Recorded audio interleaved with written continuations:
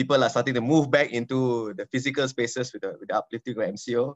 Uh, but I, I, I, believe, you know, um, webinars are always a great way for us to gain insights from experts who are in other part of the world. Uh, so today, today with us, you know, we have uh, Ivo uh, all the way from Amsterdam, right, Ivo, uh, to to share to Geneva. share his insights. Yeah. Sorry.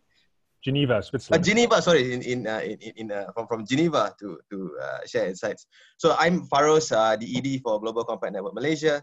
Uh, thank you again uh, for joining here. Now, just let me uh, uh, do a little bit of context setting and also introduce Ivo properly to all our audiences today. Uh, welcome to our webinar uh, for, for this month on how climate finance can be at the heart of economic growth post-COVID-19. Now, the COVID pandemic is rewriting how we operate at individual, corporate, and society levels. Now, some see this as an opportunity to reset how things needs to be done, whilst others see this as bread and butter issues as the only material matter uh, in the short and mid terms. Now, just earlier in the year, uh, the World Economic Forum risk report for the first time had indicated social and environmental risk as, most, as more likely and more impactful than economic risk.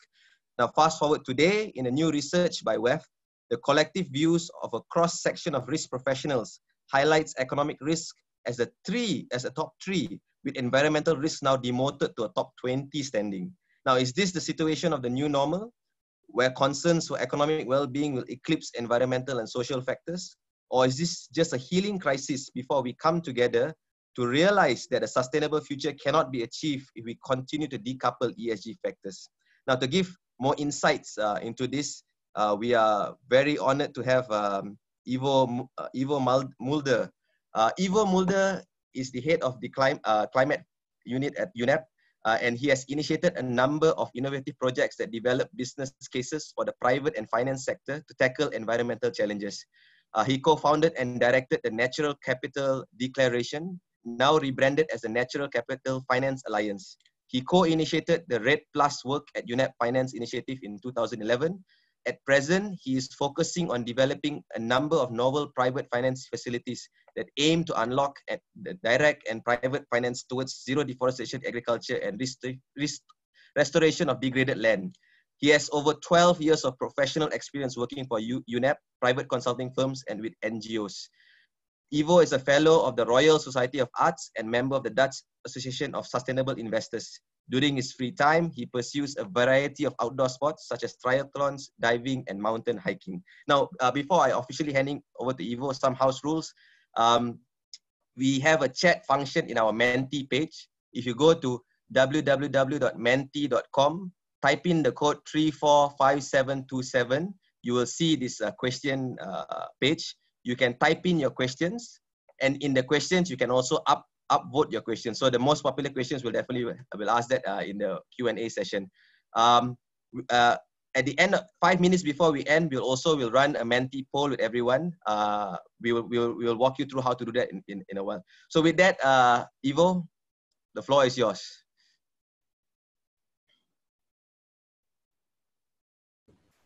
Great, thanks a lot, uh, Faroze. Just double checking if you if everyone can hear me. Yes. Perfect, and you can also see my screen. Yes. Okay.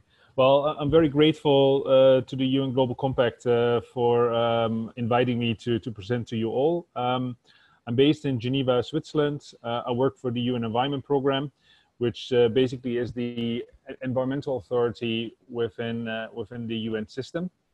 Um, within UNEP, I focus primarily on how do we create incentives for businesses and finance to switch towards a low carbon sustainable economy. Um, I think there's still a persistent belief that um, what is good for the environment is bad for business. And I think we really need to break away from that thinking. Um, but that is only possible if uh, people on this call and in many other meetings are seeing practical examples of how investments in renewable energy or energy efficiency or sustainable agriculture can both deliver investment returns but also be good for, uh, from a societal perspective, uh, giving fair wages to people and, and obviously addressing environmental challenges.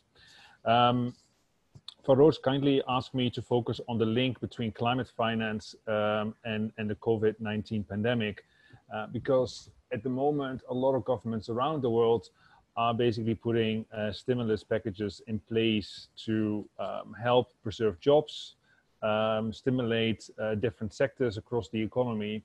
Um, but as a result of it, many more governments will be, uh, the debt levels of, of many governments will, will rise further, uh, and also private finance will be squeezed.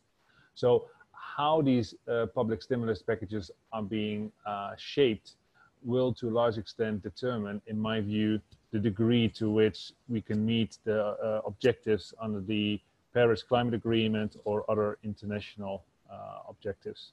I think Faroze has already highlighted the, the house the housekeeping rules. Uh, from my perspective, I given that this is a, a, virtual webinar, I would have loved to be in, in KL myself. Um, from my perspective, let's make it as interactive as possible. I'm both happy to answer questions, clarifying questions during the presentation, and hopefully there will be enough opportunity um, also after this presentation for the remaining time. So I would like to start uh, with this slide, which has been put together by an organization called Vivid Economics. What they've basically looked at is um, the link between uh, public stimulus packages uh, to address the COVID pandemic and the degree to which these um, negatively or positively influence um, the climate crisis, uh, the, the, the, biodiversity crisis, etc. Um, what is important to, to realize is, is that the total amount of money that governments around the world have, have made available to date over the past months equals about uh, 10 bill, sorry, 10 trillion dollars. So 10,000 billion dollars. It's, it's a staggering amount. Um, of that, at the moment at least, um, at least a third is projected to go to what, at least from a UNEP perspective, we would term the brown economy, oil and gas, uh, airlines, etc., without any uh, incentives to try and switch to different business models. And this is what I mentioned before. Um, we are fully in favor of helping businesses and, and preserving jobs but from our perspective, it is important to provide incentives to move towards, say, low emission aircrafts, uh, to move towards different business practices across sectors that have a less negative impact on the climate and, and the environment. Um, some notable exceptions, uh, the European Commission has put forward. Sorry, sorry, Ivo, could you just make your slides in the presentation mode for make it a bit bigger? Yeah. All right, let me see. Is this better? Yes, better. Thanks. Okay. Okay. Thanks for that. Um, so, some notable exceptions. The European Commission has um, released what they call the, the European Green Deal. Um, basically, what they are going to do is work with the EU 20, 27 member countries to make sure that any public stimulus that goes towards businesses and it goes towards job preservation is in line with international agreements related to climate change, related to sustainable development goals, etc. Uh, other exceptions are France, United Kingdom, uh, Canada as well. But many other countries, as you see here, um, are not putting any kind of incentives in place to switch towards a low carbon uh, economy. Again, from my perspective, but it would be good to, to hear your views and see if you agree or disagree with me. Um, the big the big issue is that governments who are already very much in debt, who will be issuing more debt, uh, will have uh, fiscal constraints to deal with the environmental crises uh, post COVID. Um, so if this terrible crisis uh, from a human health perspective and an economic perspective is not used as a force for good and as a force for change, my fear is that there will be less leeway for governments to address the increasingly costly environmental crises that we're finding ourselves in. So um, the UN Global Compact uh, Malaysia chapter asked me uh, to focus uh, specifically on the, uh, the link between climate finance and what is called the EU taxonomy, which I will explain um, shortly what this is about. Uh, it will have a far-reaching effect on how finance investments will be shaped in the years to come uh, some best practices from a policy, private sector, and investment perspective, and then some opportunities in this new normal that Faroze uh, started the, the, the webinar with. And then hopefully we'll have enough time for questions as well, and please feel free to put them in the chat box. So first of all, um, I think it is important to, uh, for those who are not aware of it, is to highlight the urgency of the environmental challenges that we're finding ourselves in. Um, we're basically on track um, to a world that will be 3.4 to 4 degrees warmer than it was in the pre-industrial uh, age. This sounds like a, a small uh, amount of warming, but it will lead to the collapse of uh, coral reefs. It will lead to the thawing of the permafrost in, uh, in Siberia. It will lead to all kinds of tipping points that will increasingly have uh, negative economic and financial costs as well as health impacts. So for those who do not believe that there is a link between uh, environmental sustainability and, and the economy, that is just not true anymore.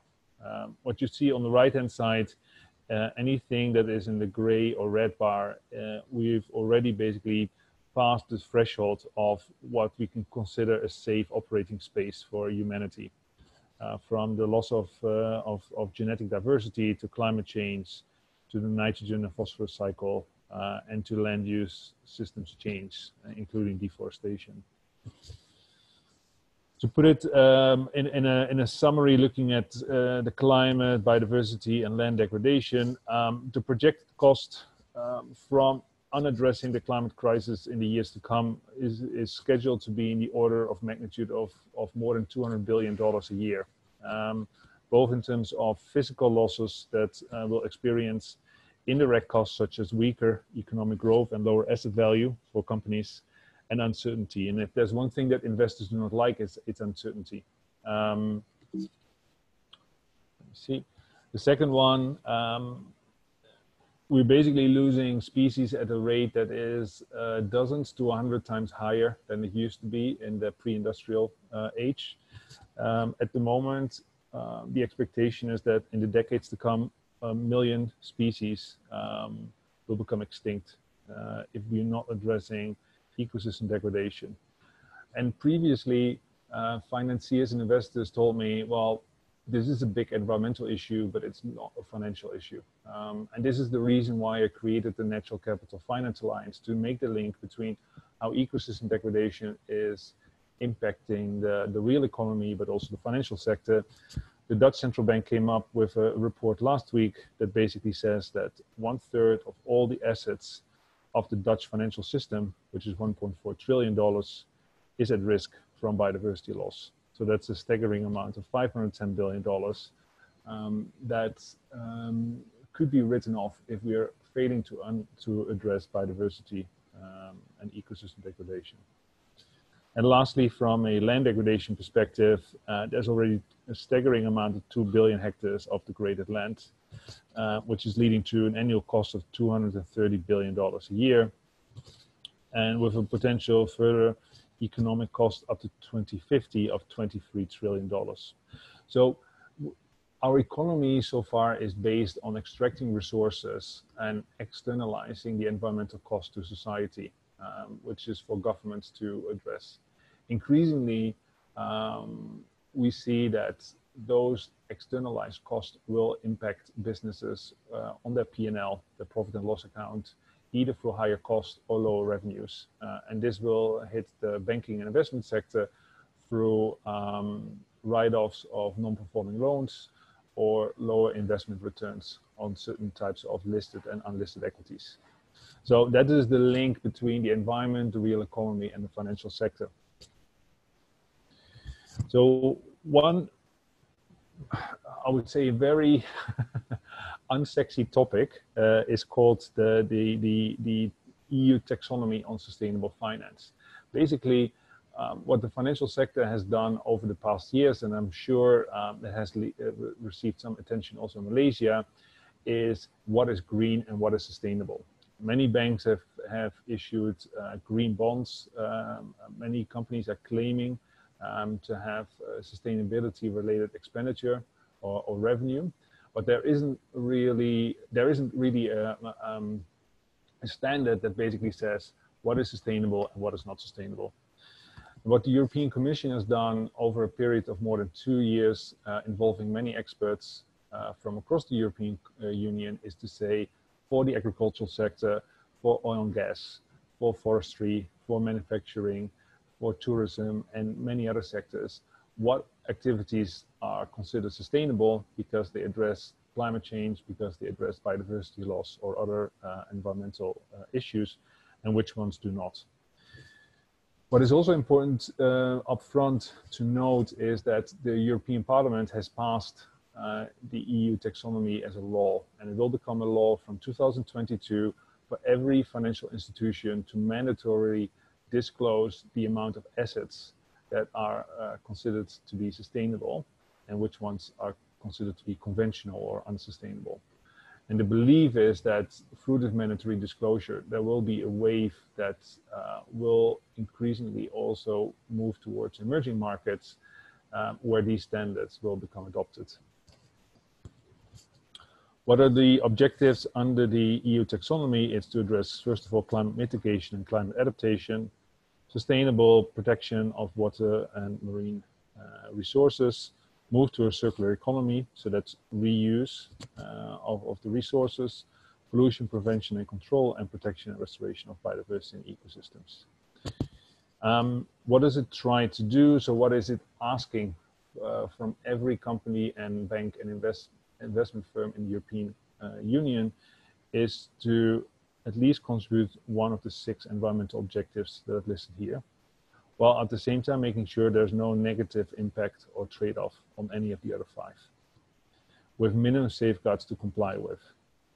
So again, as I said, this will become a law in the EU, but um, what is crucially uh, important is that if you have a European-based bank, for example, that is doing business in, in Malaysia, it will have to report its um, sustainable or unsustainable assets both in the EU, but also outside the EU. So investments in palm oil or rubber or manuf uh, car manufacturing, for example, uh, those will have to be visualized on the balance sheet of European-based uh, legal entities. So ultimately, given that we live in a globalized economy, um, this standard is expected to have uh, repercussions beyond the European Union. What are some of the proposed criteria for different sectors? So for transport, you're talking about zero tailpipe and very low emissions. Uh, agriculture is, is maintaining uh, carbon in the soil, uh, improving carbon capture um, through forest restoration, for example, and climate smart agriculture. Um, there's, for different sectors, there are different requirements. You can see them uh, here. They're also available online. Um, but they've basically identified for each sector in the economy, uh, and there's in the subsectors, I think there's 167 uh, subsectors in total, what is considered uh, to be a sustainable activity uh, and, and would therefore have to be reported on from the year 2022, which is only 18 months away from now. The same for electricity, buildings, and forestry. So for forestry, which I focus on a lot. For example, it's about maintaining and improving carbon. Uh, if you talk about uh, buildings and infrastructure, uh, it's it's about uh, supply chain and small and medium-sized enterprises and, and, the degree to which improvements are made in terms of energy efficiency, for example. So that's the first topic. Um, basically, an introduction to um, the EU taxonomy and how this makes a link to, to climate finance. Um, what are some best practices? Um, so these are the, the, the, targets that the EU has set under the Green Deal is a minimum reduction of 50 to 55% of emissions compared to 1990. Um, improve the share of renewable energy in final energy consumption up to 32%. And um, achieve energy savings compared to business usual of 32%. So the way how the European Commission frames it and the way how this could be framed in every other uh, country is to say, yes, investments are necessary to make this transition. But ultimately, this is an opportunity for, uh, for businesses and financiers to, um, to invest in a, in a low carbon uh, and more resilient uh, economy. Um, you can call it an investment gap of 175 to 290 billion. You could also call it an opportunity to meet that gap basically. And coming back to my my uh, my initial slide,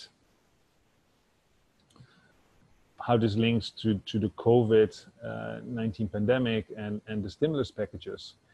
If governments in, from Malaysia to India and Russia to, to, to France were to put those stimulus packages in place to incentivize businesses to invest in energy efficiency, uh, renewable energy or sustainable agriculture, then it will be more, it will be easier um, to see a silver lining in this, uh, in these terrible dark days, basically. Um, and that's, that's why I think the link between COVID-19, climate finance, and moving towards a sustainable economy is so important. If you look at it from a private sector perspective, I think there's many um, um, pieces of information out there. I've, I've just used one, uh, which was produced by uh, As You Sow and uh, Corporate Knights, which have put together uh, the Carbon Clean 200. So they've basically looked at which businesses have targets in place to move towards um, um, objectives under the Paris Climate Agreement of becoming ultimately net zero by 2050.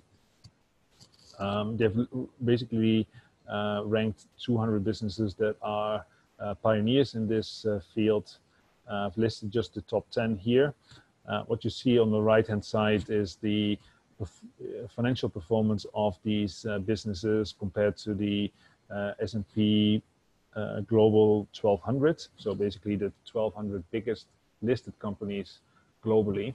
And what you see on the purple line is that there's basically outperformance of those businesses that are basically delivering investment returns in terms of higher share prices and dividends for investors, um, but which are also uh, having climate targets that are quite um, pioneering, basically. So the idea again that what is good for the environment is bad for business just doesn't doesn't hold true. From an investor perspective, there are many um, initiatives also ongoing. Um, what I think is important to realize that, um, there will be a growing demand from investors to businesses in the real economy to demonstrate what activities they're taking or actions they're taking to provide fair wages uh, to uh, employees, um, to make sure that labor standards are respected, uh, but also to make sure that um, we're moving towards a, a low carbon economy. Um, one example that I've listed here, and I will share the slide deck with all of you afterwards, is uh, something called the Net Zero Asset Owner Alliance. So these are 26 large pension funds, insurance companies that have basically said, we are looking at every company that we invest in and if these companies are not meeting the climate uh, targets, we will ultimately um, disengage from these companies. So there will probably be a engagement process initially, but the ultimate objective is to have an investment portfolio that is what they can call uh, Paris aligned. In other words, uh, aligned with a reduction of uh, emissions by 50% up to 2030 and net zero by 2050. So this will ultimately have impacts on the investment portfolios that these very large uh, institutional investors are managing. Um, there's other initiatives as well. There's a big push now uh, from some uh, countries for setting science-based targets. So basically looking at what science tells us in terms of what emission reductions are necessary, what um, biodiversity protection is necessary, and basically putting business and finance targets as a result of it. There's the Climate Action 100, well, there's, there's many others. UNEP uh, Finance Initiative last year launched the Principles for Responsible Banking uh, at the UN Climate Summit. They already have 180 banks who've signed up it, uh, to it at CEO level. The target for this year, or the objective for this year, is for any of these banks is to set targets. So how are you engaging with clients across your portfolios to make sure that they are moving towards a, uh, a responsible based uh, banking business um, there's many others like the principles for responsible investment uh, institutional investor group on climate change um, apologies for the spelling mistakes by the way um, that uh, will increasingly drive um, how they are um, which clients they're banking uh, and, and, and which uh, investee companies they're investing in. So again, those businesses that are well prepared because they can, they can outline what they're doing compared to their peers or the sector, peers will probably be um, more appealing uh, for those investors and banks that have set targets. What are some opportunities in this new normal? Uh, as Faroze was starting this uh, conversation, um, we will likely stay in this this um, this pandemic until um, uh, a vaccine is found, uh, and even after that, it will take some time to move towards a, a, level of economic activity that was comparable to, to what it was uh, pre-COVID. Um, so how can banks and then financiers uh, push for sustainability post-COVID? Um, I would say is for companies that are linked, for example, to the UN Global Compact uh, Malaysia, is to engage with both your local and especially federal government is to see what incentives that the Malaysian government or what incentives could the Malaysian government put in place um, to make sure that um, there's incentives being being placed to move towards uh, a low carbon, uh, sustainable and resilient economy for Malaysia. Um, that could mean uh, fiscal or trade policies to stimulate sustainable production, processing and trade of goods. It could mean uh, providing guarantees or soft loans to make a switch towards investing in um, low emission housing or infrastructure um, or deforestation free uh, commodity production.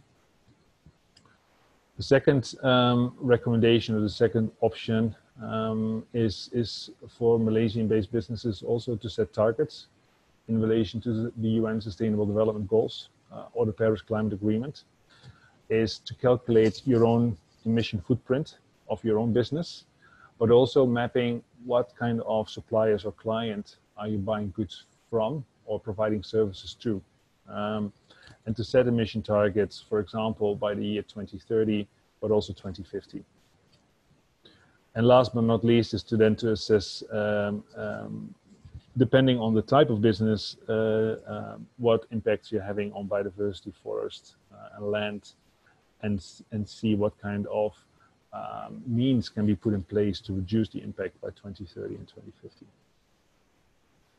The last uh, recommendation is, is a plea to, to try and innovate and pioneer. Um, I think there is a, a feeling by some companies is to try to go back to business usual as soon as possible after the COVID pandemic uh, over with. Uh, and obviously, I think short-term liquidity is is the most important uh, topic on mind for most managers and and senior business leaders. Is how does my business survive? Um, that is and should be obviously at the heart of, of what you're doing. Um, but this, again, terrible moment in history is perhaps also providing an opportunity to see what kind of innovation and pioneering can you put in place for your respective business to make uh, a change that you may have wanted to do but have been holding back on um, for, for, the, for the past years. So from UNEP side, uh, as Faroze uh, started the introduction uh, of me, um, I've been trying to say like, what kind of changes can we make, uh, can we incentivize for banks and investors to invest in, say, sustainable agriculture and sustainable forestry? I think we see a lot of uh, momentum with regards to renewable energy and energy efficiency. And in many, uh, in many countries, this is now an established asset class. When you talk about forestry and agriculture, um, this is really not the case. There's very little capital that is directed that does not have a negative impact on the climate and it does not have a negative impact on um, nature. Um, We've partnered with Rabobank. We've created a $1 billion uh, partnership um, with the objective to issue up to a billion dollars in loans by Rabobank and other uh, banks that have specific um, targets around uh, improving rural livelihoods um, for smallholder farmers, for example, um, to stop deforestation and to improve agricultural practices. What the bank in this case said is we cannot pay for this transition ourselves.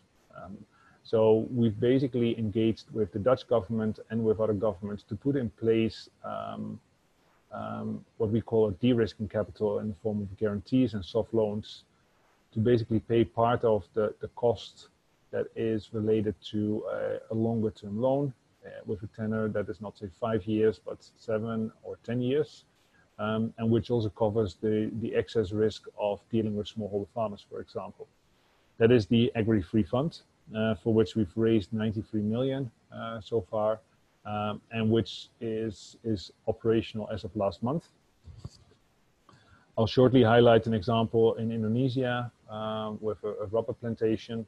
Another example is the &Green Fund. Uh, they've raised about $127 million from Unilever, from Norway, and the Global Environment Facility through UNEP. Um, and again, this is a fund that is available for any business that tries to marry or tries to combine um, investment returns from agriculture or investment returns from forestry but to couple that with targets around um, forest protection and, and, and, reforestation.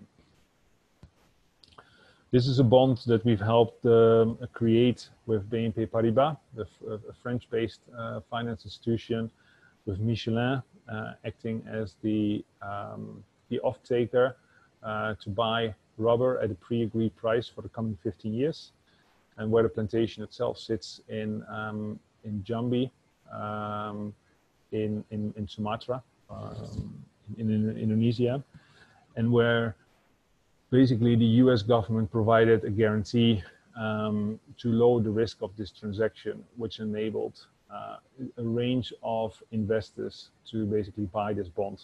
Um, and I would like to show a video as a result of it, if I can. Uh, so let me see if I can do that. Um, I hope you could see the screen shortly.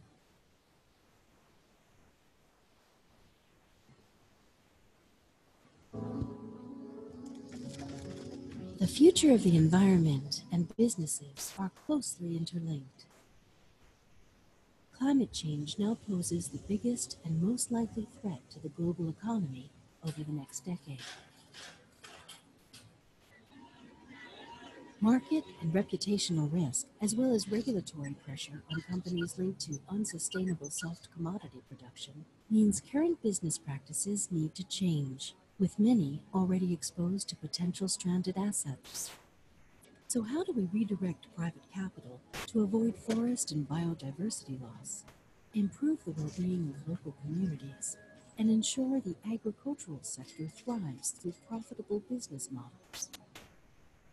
Combining the capabilities of banks, governments, and agribusinesses through blended finance instruments is key to transforming the way we finance sustainable land use. The world's first landscapes bond, issued by the Tropical Landscapes Finance Facility and developed by BNP Paribas and ADM Capital, is financing a sustainable natural rubber plantation on degraded land in Indonesia. In the inaugural transaction, a 95 million US dollar bond was issued to capital market investors through structured notes of varying tenors and rank.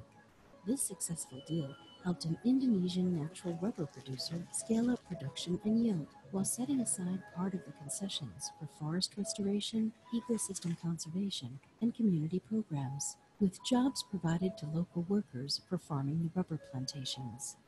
An offtake agreement was also negotiated, guaranteeing the sale of the majority of rubber grown. In such a pioneering deal, some form of risk mitigation is required. This is where public finance was crucial, with a partial credit guarantee offering security to some bondholders in case of default, helping broaden the investor base and lowering the overall funding cost of the transaction. The success of this project will increase the appetite of other banks, investors, and agribusinesses to finance projects that combine financial performance with clear environmental and social benefits. We cannot achieve sustainable development if we can't finance it. And for this, we have to bring both the public and the private sector on board. There is a need for urgent action and mobilization of private sector capital what makes us unique is that we have the access to a farmer, The UN environment gives us the possibility to provide extra incentives for the farmer to change his behavior day to day. These and other successful blueprints can then be replicated across the agricultural and financial sectors, reducing the levels of public finance required and turning sustainable agriculture into an investable business proposition.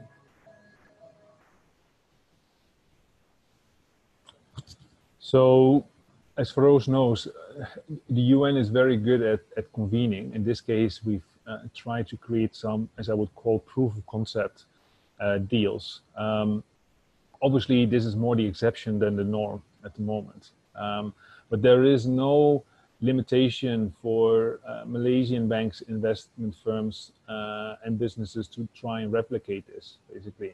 So this is the final message that uh, I would like to sort of close my presentation with: is is is to think outside the box of of what is it that you can do that still makes business and finance sense, um, but is moving towards this this this low carbon sustainable economy that we need to move towards.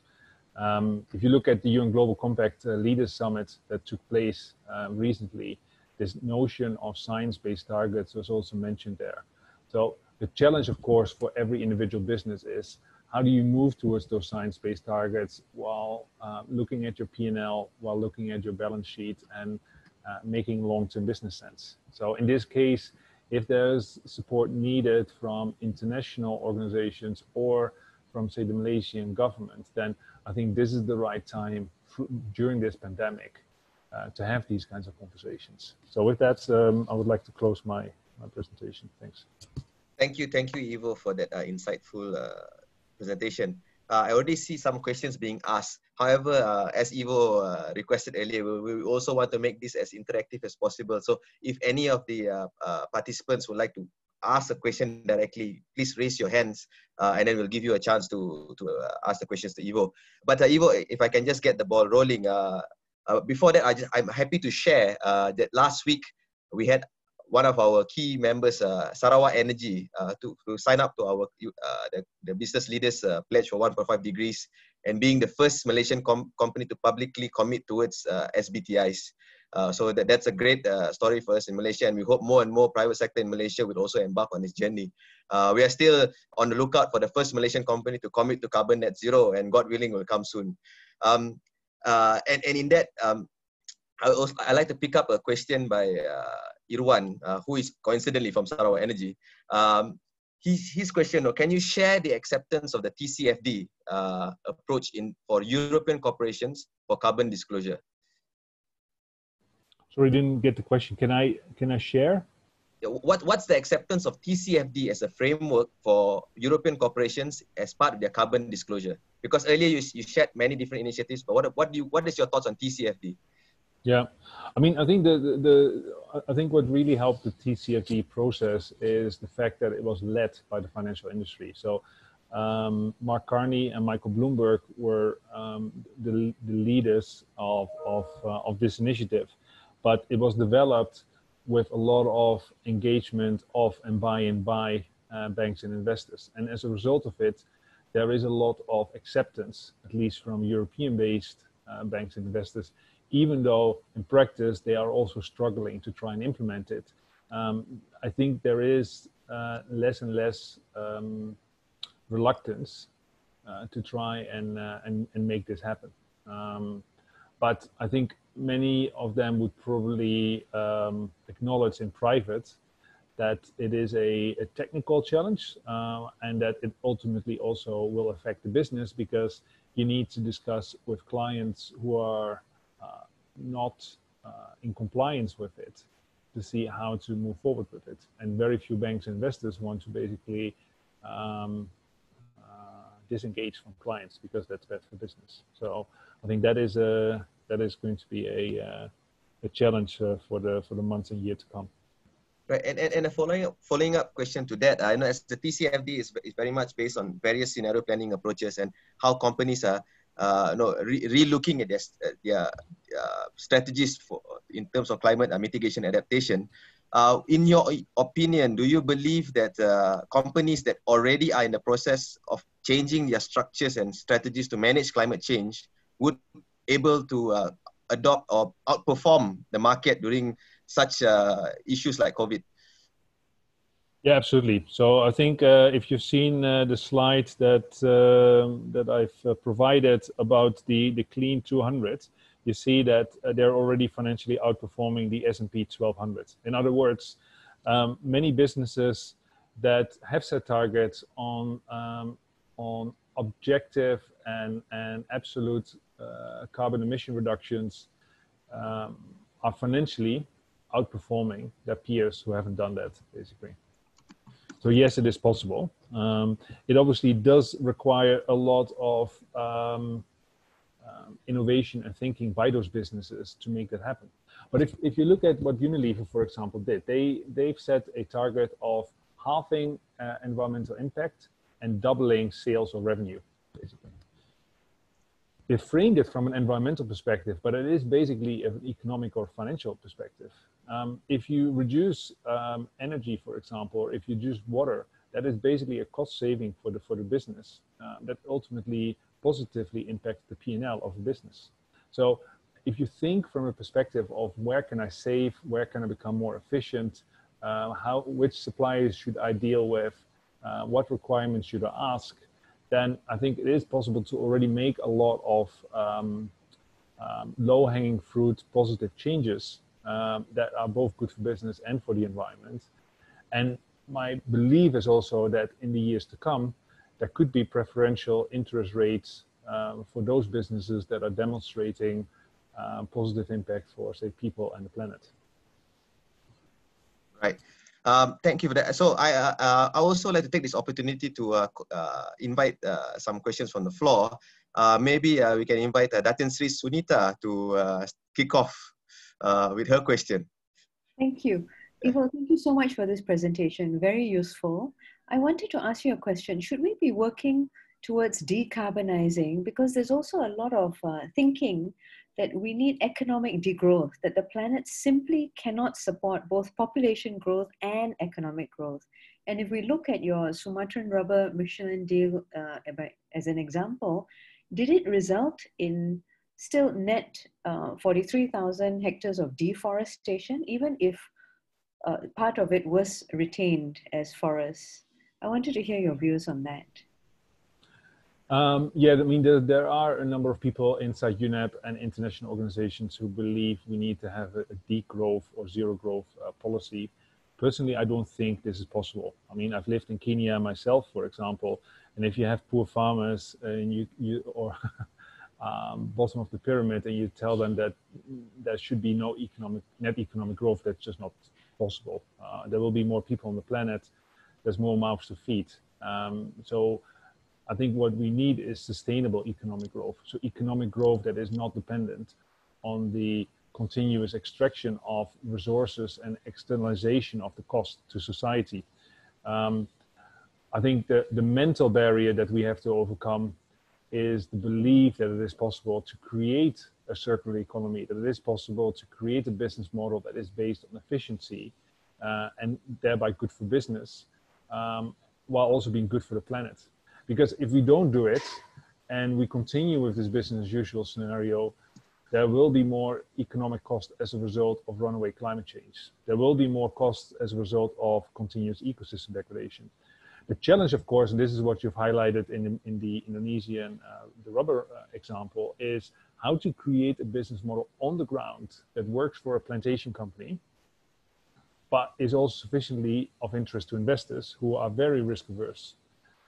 So in this case, um, as you've probably seen, indeed, um, is part of the rubber plantation is is trying to increase the yield on those part of the plantation that is destined for rubber and, and to try to use those agricultural practices that maximize rubber production.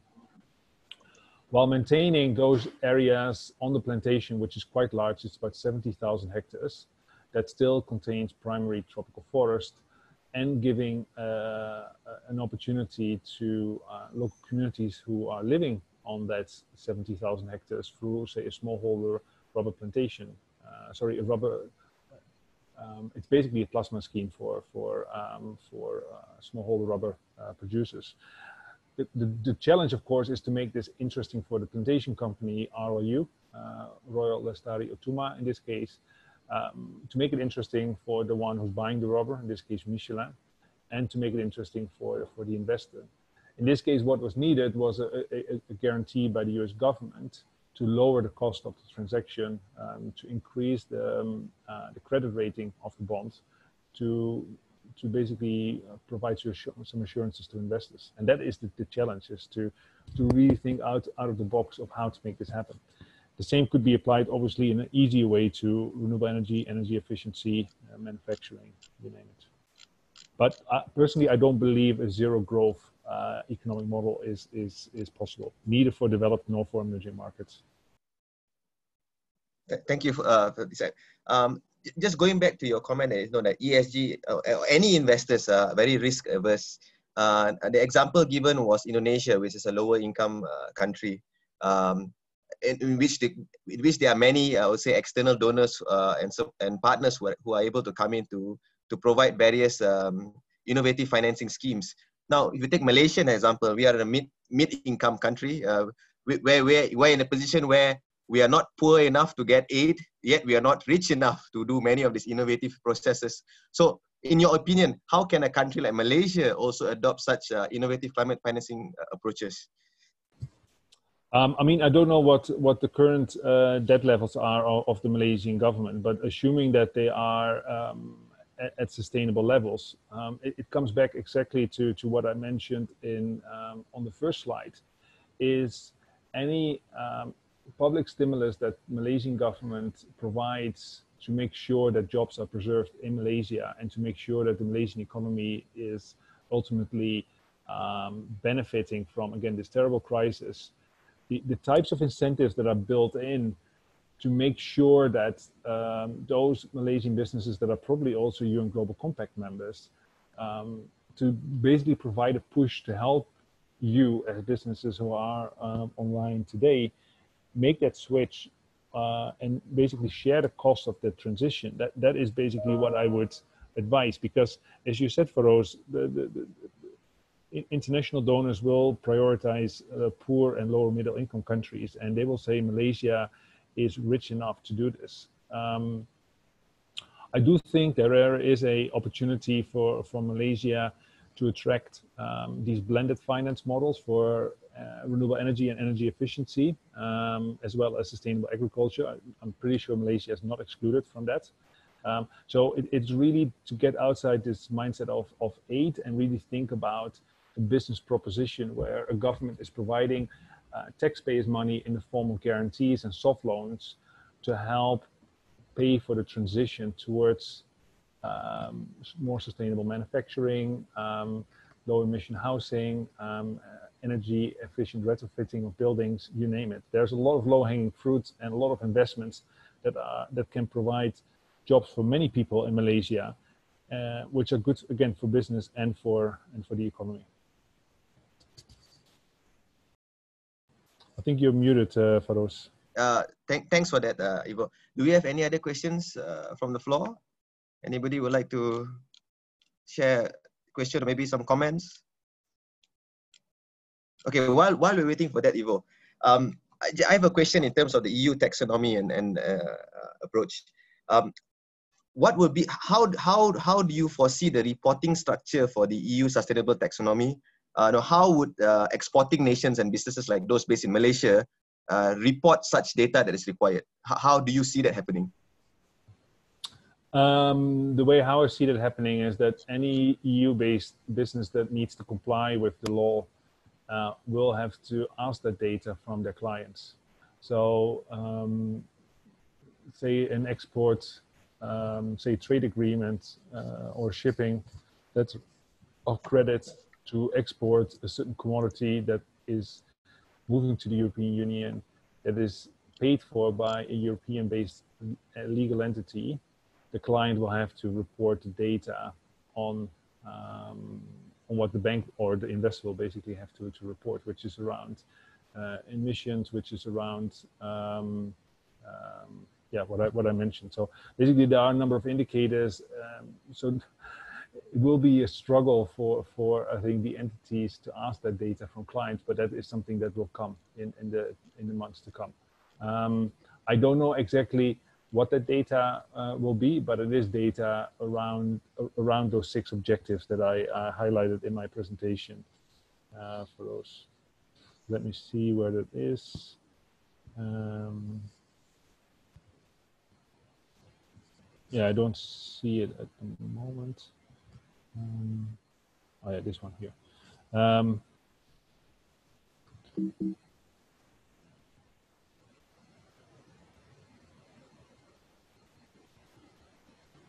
so it will be data around these six objectives, basically. So any any legal entity will have to report on this from 2022, and underneath any of these six objectives are a number of indicators. So that data will be asked by those entities to, say, clients in Malaysia, for example. And this is also why, even if it's an EU law, it will have global uh, repercussions because Malaysia does does trade with Brazil, and Brazil does trade with the EU, and etc. So, so because um, you have this big, powerful economic bloc, basically setting a standard that is expected to be uh, to have impact beyond the European Union, basically. The, just out of curiosity, do you do you foresee European companies paying a bit more uh, for for this kind of uh, say extra uh, disclosures requirement? No, I don't think so. But um, I do believe that ultimately uh, sustainability requirements have to be built into the price of the product. So uh, it should not be uh, the the producer who has to pay for those costs. It should be the consumer who ultimately has to pay for it. So I think there needs to be a push to, to see what kind of economic incentives can be provided to consumers to increase the expenditure uh, with relates to, to sustainably produced commodities. So I could very well expect, Faroze, that the first um, uh, reporting in 2022 will reveal very low um, assets that are moving towards these, say, sustainable uh, assets that I mentioned. What will happen there, thereafter is the European Commission basically setting a target um, right. And that target can only be met if if either those costs are absorbed by the producers, which I don't think is fair, or you provide incentives to the consumers to increase the um, the expenditure of sustainably produced commodities, basically. Thank you, Ivo. So in the interest of time, as we also like to run a quick Menti poll uh, for, for the last five minutes, um, can I invite you to, you know, maybe wrap up uh, with 30 seconds of your final words, words of wisdom uh, to our listeners in today? Um, no, again, just very grateful for, for everyone who's online. Um, I'm happy to share the presentation with Faroze and Wan. Um, and, and as I said, I mean, do, do, do try to, to use this, this pandemic not to go back to business as usual, but to try and find a way um, for your business uh, or organization to move towards a low carbon, uh, resilient economy. Thank you, thank you, Ivo. Thank you so much. Uh, please join me for a virtual applause, you know, the new norm applause. Uh, but please stay with us for a while. Uh, we just want to run a quick Menti poll uh, with everyone here. Uh, so for this, I'm just going to hand it over to Wan uh, to walk us through the process. Wan, can you can, you walk everyone through? sure. hi, everyone. My name is Wan. Um, so I think I'm sharing the right screen. Am I? Give me a sec. We can see the Menti screen here. Okay. Yeah. Right. Uh, so if you log into menti.com, uh, all you need to do once you've logged into menti.com is to just input the code 34, sorry, 345727. Uh, click on submit. Uh, and then you'll see this. I will be controlling the um uh, the poll from here. Yeah. So if, if, if we could just everybody to just log onto Menti, uh, key in the code which is in the chat box, so we could uh, look at some polls, please. Yeah, sure.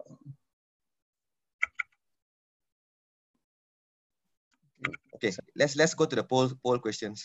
Sure, sure, sure. Yeah.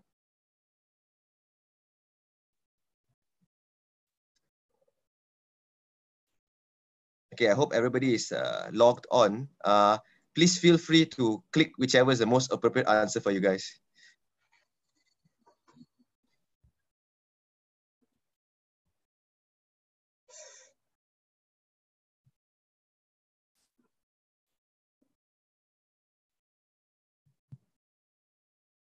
Well, that's only, yeah.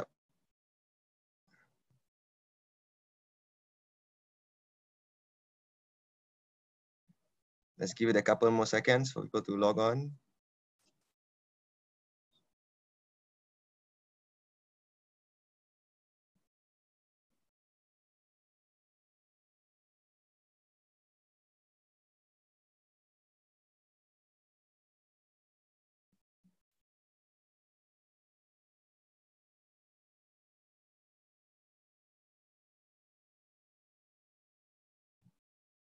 Okay, let's let's go. Let's go to the next one. One.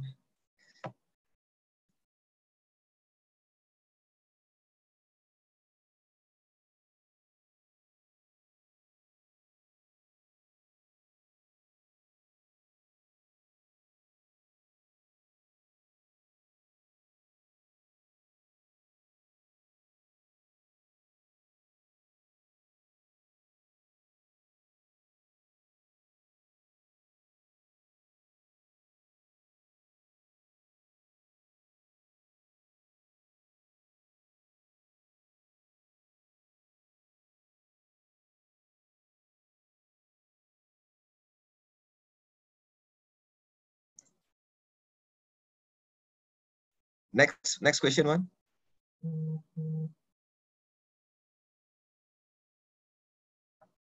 One, can we go to the next question, please? Yeah, sure. Just give me a second.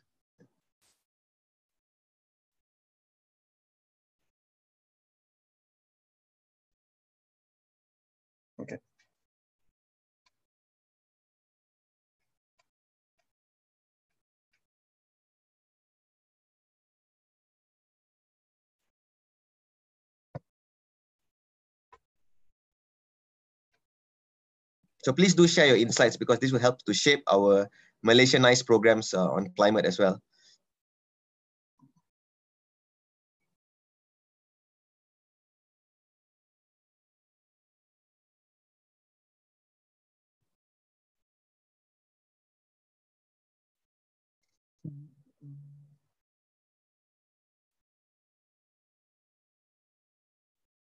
I think Ivo, in the future, we need to play some background music during these times. It's like eerily quiet. no, but it's, it's I, I, like these questions because it's it's sort of I think it gives insight for everyone who's online to sort of see yeah. what what others uh, think. But yeah, we need some music. Uh. okay, uh, next question. Uh, one.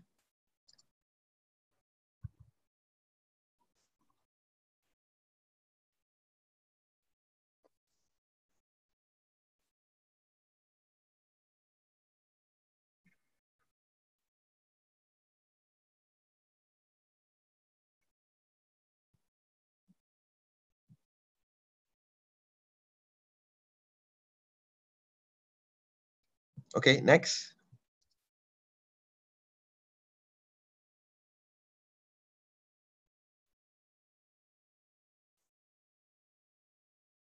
Oh, this is this is very heartening.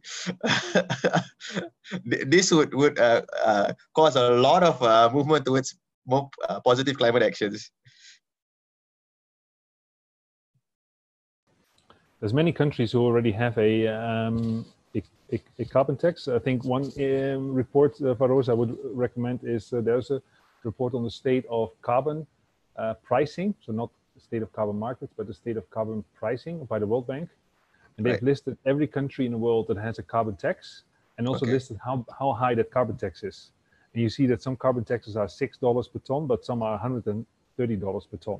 Wow! So it really depends on the countries on what kind of carbon tax you're setting. But uh, there's right. many many countries already across the world that have set a carbon tax. Interesting. Uh, next question, uh, one. I think we have just two more two more questions to go, and then uh, we're done.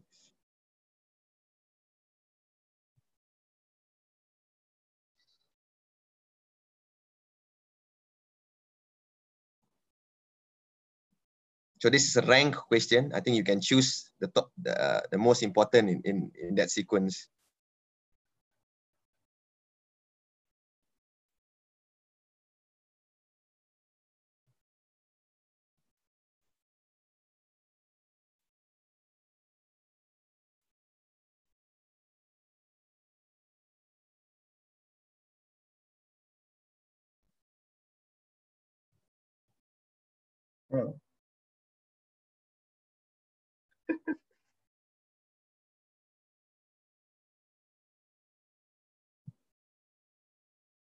Oh, that's nice. Everybody's advocating a carrot and stick approach.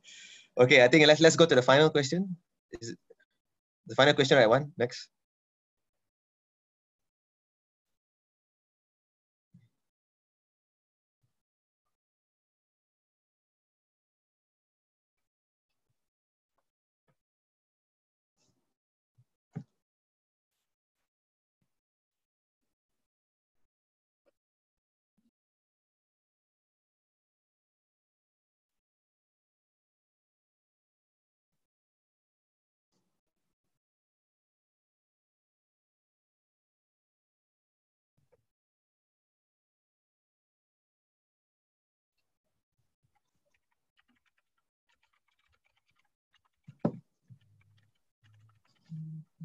Okay, I think with that, uh, we have come to the end of our, our poll. And thank you everybody for your insights.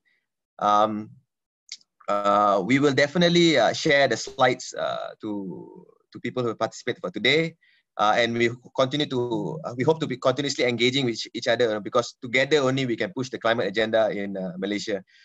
before we log off, whoever that is still patiently with us, if I could ask you to also come on camera so we can do a group photo uh, and then we can send this to Ivo.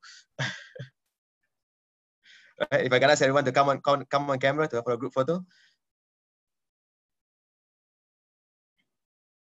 I think one so needs one, to, to sort of stop the yeah. uh, the sharing and then. Uh...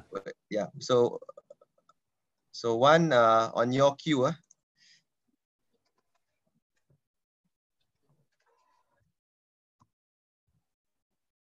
Okay, let's give it a few, let's give it a couple more seconds. Sure.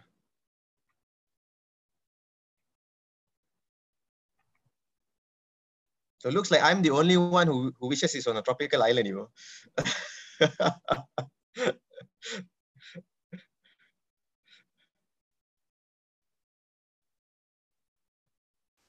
okay, all right. Uh, on my cue, uh, on three, smile. So one, two, three, cheese. All right. Okay. Thank, thank you everyone for your time today. Please keep in touch. Uh, we'll keep you updated for future events and see you soon. Again, Ivo, thank you so much. Keep in touch. Take care. You're welcome. Okay. Good thank luck, you, everyone. Ivo. Bye-bye. Bye. Thanks, everyone.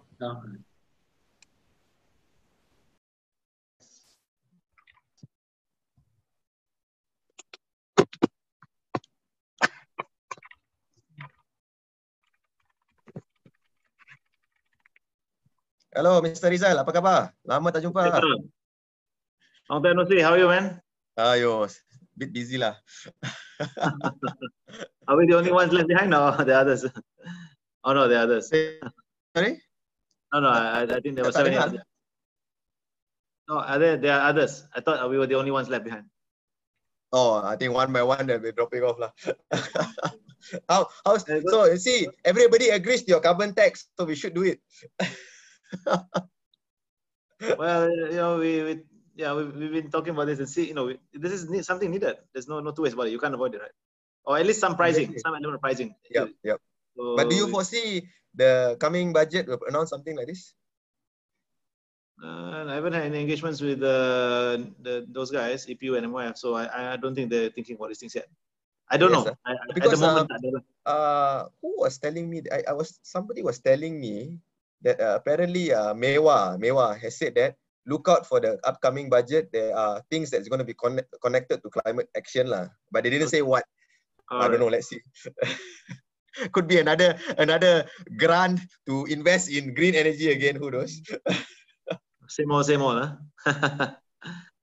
same old, same old. You, you, you, can you can do you you know you can do that, but at the same time you need uh, some mechanism, right, to, to tax pollution, all that. I mean, you, you know. That. No, I, I didn't realize that UNEP actually is doing so many uh, implementation thing on the ground. No? This kind of things we can just take and and and implement yeah. as well, you know. Yeah. So it's a waste, lah, you know. Yeah, roll it out here or maybe adapt it a bit. Yeah, absolutely. Are, are you are you uh, involved with the JC3? What are they? What, how's things over there? No, I don't hear much other than uh, some blurbs here and there. Uh, That's all. Yeah, I think they've been busy with uh, you know like the economic issues and SME financing. Yeah, Penjana Prihatin, all that lah. and Yeah, whether they're still think whether they're still in yeah, whether they're still in government in the next coming months or so lah. yeah, yeah. New government, old government, but I know those guys are there, right? So they, they should move on. They should push it. Yeah, that's right. That's right. Should do it. They should just push it. Yeah, and uh, get those dialogues with MOF. I, I just met Deputy MOF yesterday. Uh, Uh, no, no, yesterday, two days ago. Yeah. So I think that they they want to you know they want to discover new things. Uh, you know, you know, try out um, some of these things. But uh, it's a, more, a lot of capacity building required lah. They need to be educated, aware. You know. yeah, yeah, Right. So they, uh, this time around, unfortunately, you know, COVID nineteen, the Parliament, because Parliament starting next week, so he was, Yeah. you know, he was just talking about the Parliament session upcoming.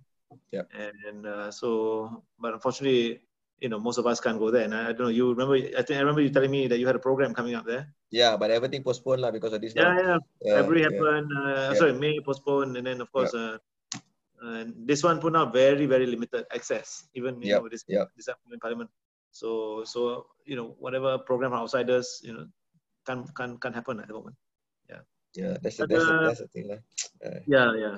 Uh, But uh, Zafrul should get this. I mean, Zafrul should drive this. The the finance minister. Yeah, but I heard he's too busy with his political ambitions. Uh, well, yeah. rumor has it he's he's going to run, ah. Well, yeah. I think it's not enough just to be a, a, a senator. So I think you want to have a right some grassroots lah. Uh, I also heard. I I'm not heard. talking to the campaign manager. oh, is it? Oh, oh, okay. I, I, I, that'd be good lah. You know.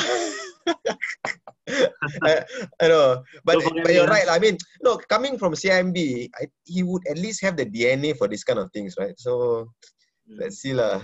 Tapi, I mean, between this this Zoom call, CIMB pun jerit je kuat lah buat the Ah, the in terms of deployment still. And you know, but the rest of them are not really moving back. Monan, all this, all those Yeah. guys. Yes.